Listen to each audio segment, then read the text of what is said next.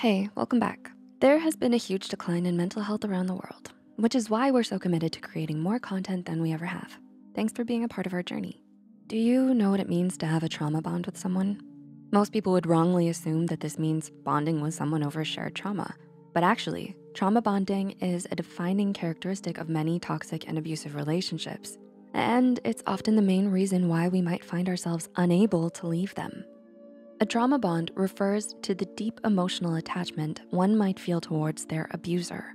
And it's more likely to develop in those who have a history of abuse, exploitation, or emotional codependency in their past relationships. Trauma bonds can easily be mistaken for feelings of love and commitment towards another person.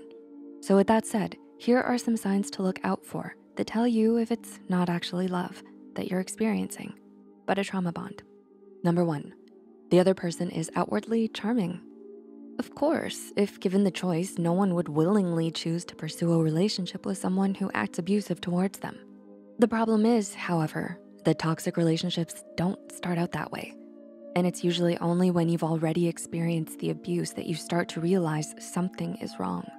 You might develop a trauma bond with someone if they are outwardly charming, sweet, caring, and seem trustworthy to you. But don't be fooled.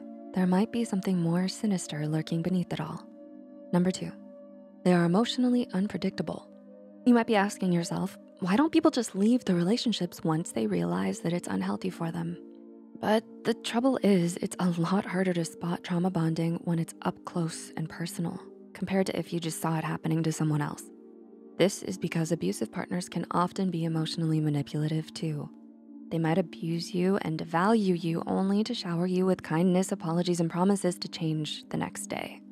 This serves as positive reinforcement to make you second guess any thoughts you might have of leaving them. Number three, they tend to take their problems out on you. Think back to the last time this partner, friend, or family member heard some bad news or encountered a problem. How do they usually deal with it? Do they often lash out, take it out on you, even when you've done nothing wrong? They could be keeping you around as their psychological punching bag.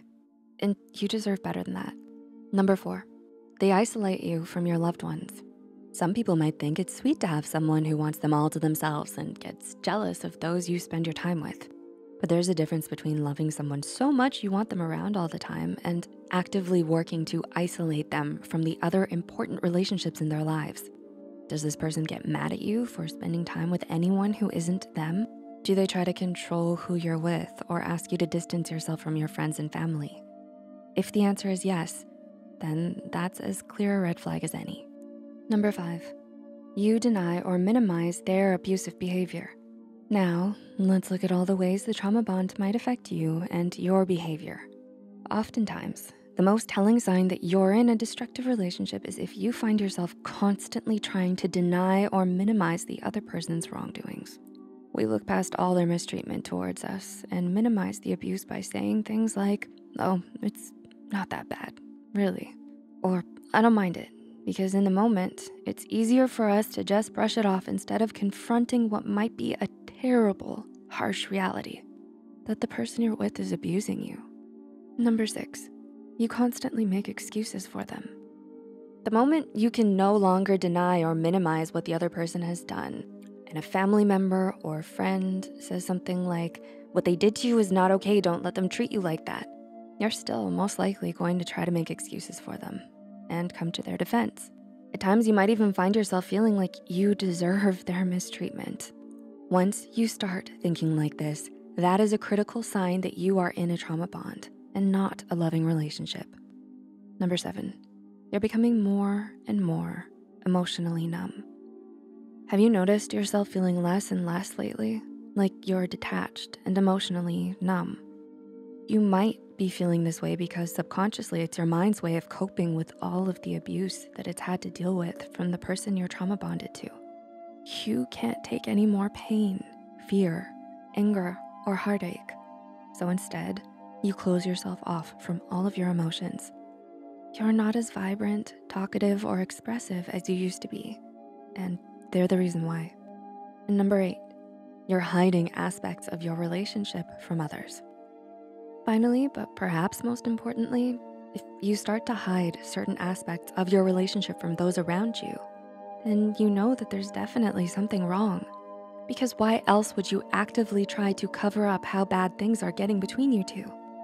Loyalty towards an abusive significant other is a hallmark of trauma bonding. So you might find yourself becoming defensive or even angered by other people's attempts to intervene in your relationship and help you. Do you relate to any of the things we've mentioned here? If you or anyone you know is trapped in a trauma bond with someone abusive, don't hesitate to speak out and seek professional help today. And if you need to, get in touch with authorities who can help you too. Did you find this video valuable? Tell us in the comments below. Please like and share it with friends that might find use in this video too.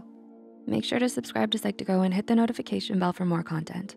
All the references used are added in the description box below. Take care of yourself. Thank you for watching and see you next time.